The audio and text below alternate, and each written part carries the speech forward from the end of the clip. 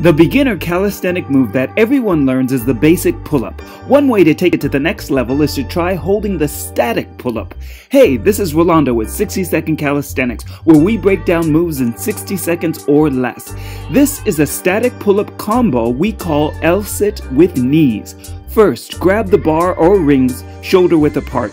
Then do a pull up while bringing your legs up to the L sit at the same time. And number three, bring your knees in and out and then back down to the start. This in and out movement focuses the workout on your lower abs. And because you're maintaining the static pull up, you're also building strength in your biceps. Once you get used to the combo, try for 10 reps in a row before resting and repeating. Thanks for watching.